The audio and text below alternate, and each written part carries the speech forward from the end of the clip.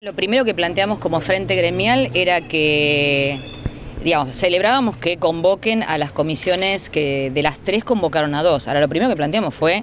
que aparte de la Comisión de Salud Laboral y la Comisión de Condiciones Laborales, tenían que convocar a la Comisión de Salario porque es fundamental y necesario discutir con tiempo, es muy trabajoso discutir el salario docente, Así que bueno, fue el primer punto que planteamos como SUTEBA, como Frente Gremial, todos los compañeros. En el transcurso de la reunión nos eh, dan una respuesta que la próxima reunión de Comisión Técnica Salarial va a ser para el 3 de febrero.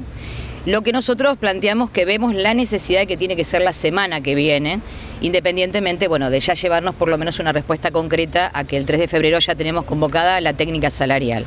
Después planteamos puntos de una agenda muy larga, pero hicimos mucho hincapié en tomar el tema de las prestatarias médicas, ustedes ya conocen qué es, tiene que ver con eh, la situación de salud de los compañeros cuando se enferman, pero que en la jerga cotidiana se habla del ausentismo docente. Nosotros queremos discutir las prestatarias porque funcionan y funcionan muy mal y esto trae muchas dificultades en la continuidad pedagógica en las escuelas, pero también en la salud de los compañeros, el tema del idioma y planteamos fuertemente la cobertura de todos los cargos que ya están creados por resolución, pero que los tienen que concretamente cubrir, más la creación de nuevos cargos. Pretendíamos hablar de salario, eh, nos llamó la atención que la convocatoria fuera solamente a las comisiones de